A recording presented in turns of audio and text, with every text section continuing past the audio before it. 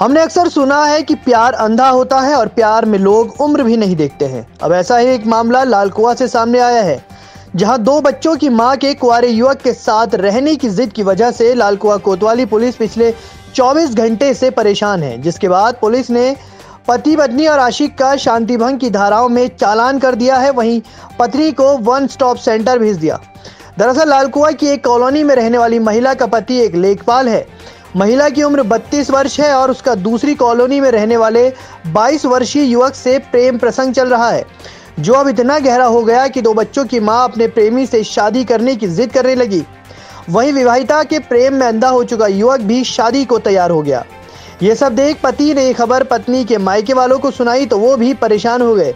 जिसके बाद विवाहिता के माता पिता अपने अन्य संबंधियों को लेकर कोतवाली पहुँच गए। वहीं विवाहिता भी अपने प्रेमी को लेकर कोतवाली धमक गई, जहाँ मामला गर्म होने लगा।